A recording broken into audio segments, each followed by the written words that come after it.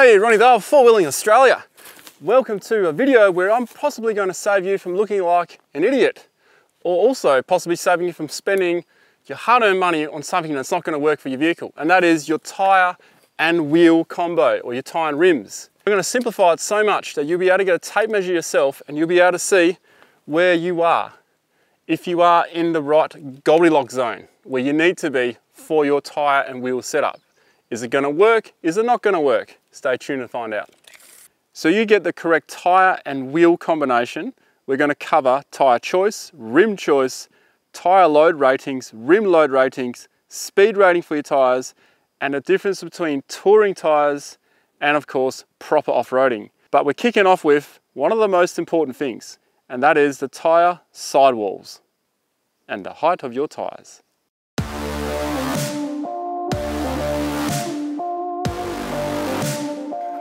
Tyres and wheels will determine your sidewall.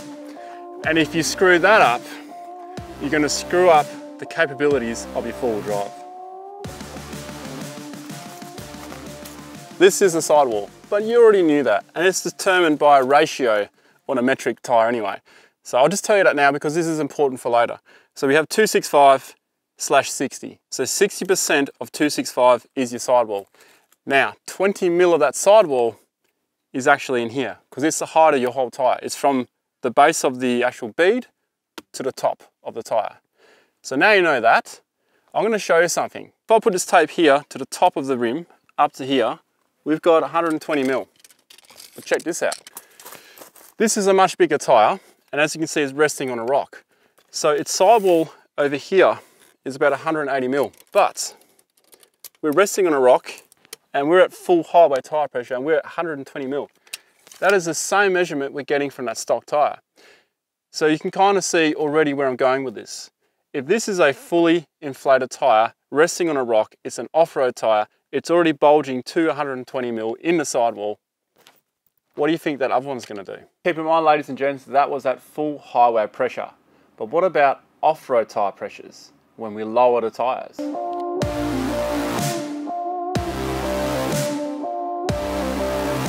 When we drive on sand, we must lower those tyre pressures. If we don't, we get bogged. If we don't lower them enough, we risk getting bogged. We also risk using more fuel. When we're on rocks, if we don't lower our tyres, we skip around on the rocks and we can damage the underbelly of the vehicle. We can damage the tyres even. And when we're going up a hill, up a sketchy hill or even down a sketchy hill, if you don't lower those tyres, your footprint is much smaller. And this is how much you can increase your footprint by lowering your tyres. And we're going to go from 5 psi to 40 psi. Two different wheels and tyre combos, one being the stock and one being the mud terrain, how it looks at different tyre pressures. So first we're going to start with the 33 inch. Well, it's actually a 32.7 at 40 psi. Sitting there nice and proud. 30 psi, you don't notice too much drop, but there is a bit. 20 psi, that's when you're starting to notice it a lot more. And then 15. And then when you get down to 10, it really starts moving. That's where it really starts bagging out and giving you that lengthwise footprint. And then at 5 psi, which is probably the lowest you take this particular tyre to, and you can, when you're in a really boggy situation, you can see that the sidewall is still holding up and is still fairly strong. Let's now change the wheels, go to the 265 60s on an 18 inch rim. These are the stock wheels that came with the Hilux and they are in fact 30 and a half inch, starting at 40 PSI. The footprint is pretty similar, if not more, than a 33 already, and that's just because of the weakness of the sidewall. So it, it already has more contact with the ground. Going down to 30, you can actually see it's moving already and then 20, and then 15, and you can see it's really, really, really now lengthening the footprint, which is great because you've got a great contact with the ground, but it's starting to become a bit sketchy. Beyond 15, as you'll see right now, down to 10 PSI, it looks a bit scary now, the tyre. Let's take it down to 5 PSI. At 5 PSI, would you drive this vehicle on soft sand? I don't think so. And if you did, it wouldn't be too long until you start pinching that bead, pinching the tyre, and you're going to wreck that tyre very, very quickly. It doesn't have the same sidewall strength, it doesn't have the same sidewall height, it is a much weaker tyre, not for off-road, and I think that's where I'm going to close the case.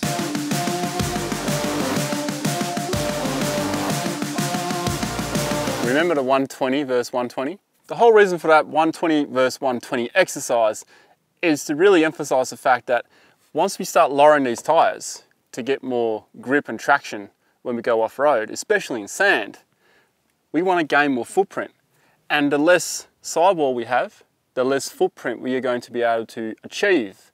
But not only that, when we're hopping around on rocky stuff or we hit a log or a washout really fast, that tire has got less compression before it hits the rim itself.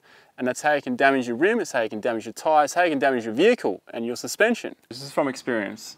On a tag along quite some time ago, we had a Land Rover Discovery and it was, would have been about a 2017, 2018.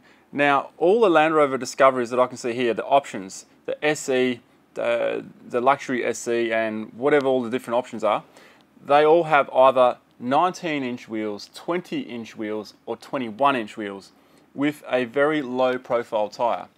Now, this couple had Pirelli tyres on. Now, Pirelli makes some amazing race tyres. They're used in a Formula One.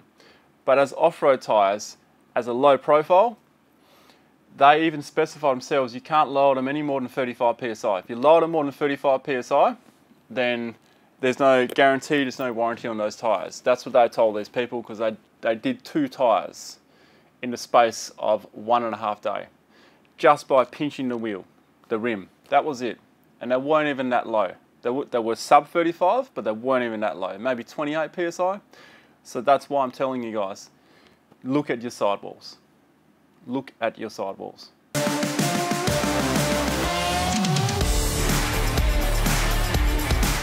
So what is the ideal sidewall size for your four-wheel drive? Generally speaking, this is a region. My hat is a Goldilocks zone. Within there, that's where you want to be in those numbers. Out here, that's where you got to consider. This is too extreme, and this over here is just far too low. So the ideal range to be in is about 175 mil to about 220 mil. That is a great sidewall size for off-roading. But don't forget guys, when measuring the height of your tire, make sure you include the 20 mil that's inside the rim. And I've allowed for that in these calculations. Oi mate. Yeah, you. Hey, do you mind hitting that subscribe button down there and giving the video a thumbs up? Good on you, mate. Cheers.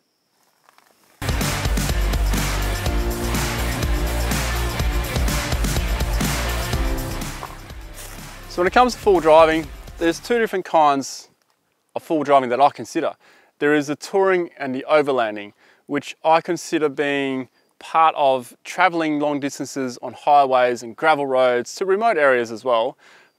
And there might be an occasional obstacle, a river crossing, you know, something decent that's serious that requires proper full drive, low range and whatnot. And that's what I would consider this size tyre to be set up for, is the 30 one and a half inch with 17 inch wheels. That's a pretty good all-rounder. It can do a lot. I used to have this on my Hilux actually, and we did quite a bit of full driving. 90% of full driving is probably gonna be in that category. However, if you do seek the tracks less traveled, the harsh environments, or the really remote areas where you should really have two spares and all your spare water and fuel and all those things, all your backup stuff, that's where you may need to consider some better tires. And when I say better tires, it's not just about how big your sidewall is, it's also about the rim choice, it's also about the tire type choice. And we'll get to that very soon because you might be on a very harsh environment or you might be a bit of a rock hopper, you might be out here just having fun. So there's a lot of different aspects of full driving which you need to determine what are you doing. This can factor in most of it, but if you really know that you're going to hunt for the other stuff and you feel like you need a winch because you get stuck quite often, that's when you need something a bit more robust. 33 inch tires on a 17 inch wheel or rim, whatever you want to call it. This is the Hilux. It used to have the 31 and a half inch tires and the same rims that are on now. It's a compromise putting this size on it. This is the biggest size that you could practically fit on a Hilux, on an IFS vehicle, most dual cab utes. This is what I would call a hybrid kind of size tyre. Uh, with the sidewall and everything, it's got great clearance and all that. But There are definitely a lot of cons to having this size tyre and that type of tyre on this vehicle, on this type of vehicle, I should more specifically say.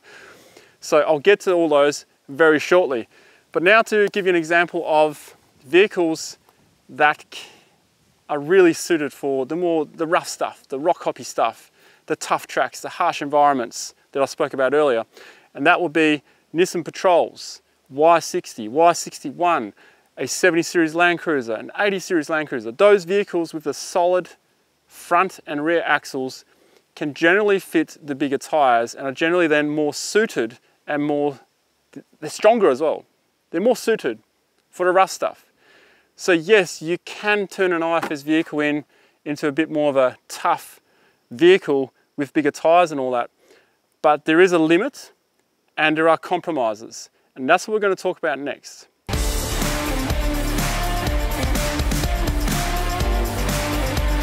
We're now going to consider tyre size and tyre type, pros and cons, just really briefly, because if you want to know the nitty gritty of the tyre types, there is a mud terrain versus all terrain versus highway terrain video, which is my most popular video on YouTube. It's got 2 million views, there's a link to it down below. I highly encourage you to watch that after this video, so you can make your choice on your tyre type. Okay, if this video hasn't made it up for you. So we have the stock terrain, stock terrain, the highway terrain, the stock tyre and we have the most extreme practical tyre that I can fit to a Hilux. And it is a mud terrain 33 inch. It's the biggest tyre you could probably fit to this without all the scrubbing and all of those other problems. This comes with some pros but a lot of cons. And this comes with some pros and a lot of cons as well. And they're kind of completely flipped over. So the cons of this tyre is it's weak it's bugger all sidewall, which you know is king by now. It's not a very strong sidewall. It's the traction is not great. It's built for the road. That's all this tire is made for. But it'll give you great fuel economy.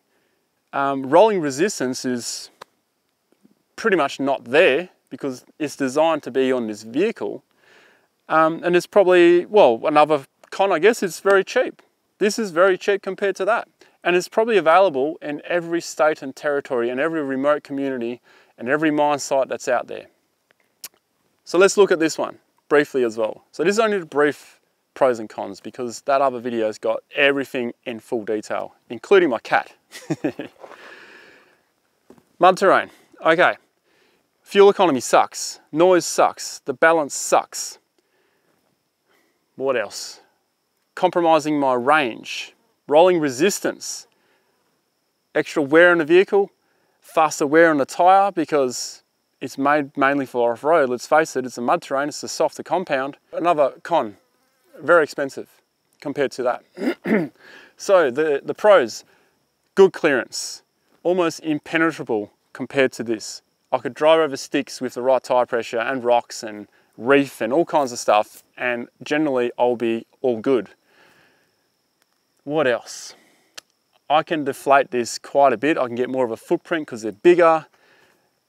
So there's a lot of benefits to the off-road aspect, but when it comes to practicality and your pockets, that's where it's gonna hit you the most. After saying that, you've probably figured out that you wanna be somewhere between this tire and that tire. But what exactly do you need?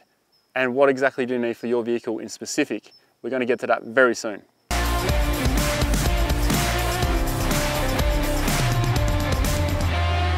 Couple more vital things you need to know before we go into what size you need when it comes to wheel and tires.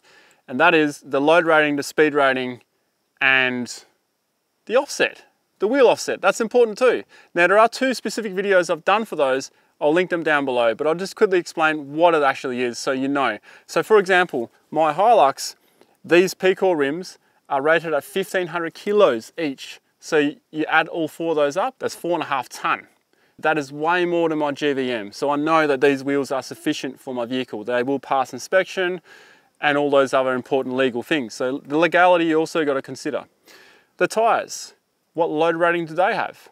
Well, we want to get them close to that 1500 as well. So mine are 3220 to 1450. So always go with a lower number. So each tire is 1320 kilos at least. That's the load capacity it can hold. The reason why, why it varies is because the PSI on your tires, depending on how much PSI you put in your tire, will depend on what rating you can go with. So the lowest rating at a recommended PSI is 1320 and the other one is 1450.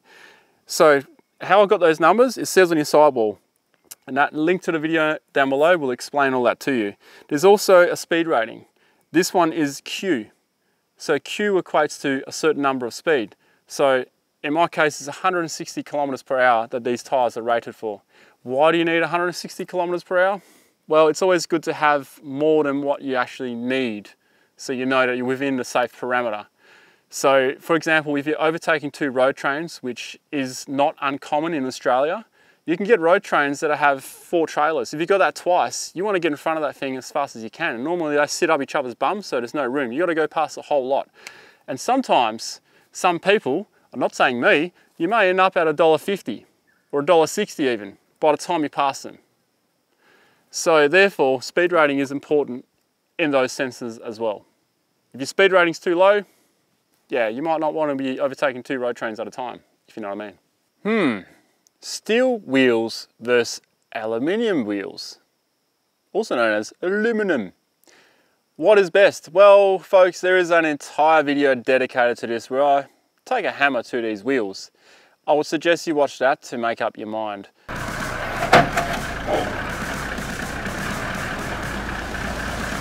The wheel size and the tyre size, and not only that folks, there's even more information on different cars down here, and these are just recommendations. You should really pause the video right now. Now, of course, I couldn't fit everything on the screen, so if you want to go back and see it again, just pause it. But it's also in the description down below with bonus information. Y62 from Dash Off-Road, he's another YouTuber. He's got a lot of experience with that car and Grizzly and Bear with the Defender, traveling the world, years of experience behind their recommendations and their opinions and their advice. And more vehicles down below, which I'm actually right now, as this video is being edited and all that, before it was edited and before you've seen it, I've been doing more research. So there's a lot of different vehicles specific down there. if you have experiences of your own with a specific vehicle that may not be covered, put it down in the comments below because you're probably going to help someone else out. Don't forget about the other links down there because there's a lot of links to a lot of resources that's going to help you in tyre choice, wheel offset, and all those other things. Thanks for watching. See you next time.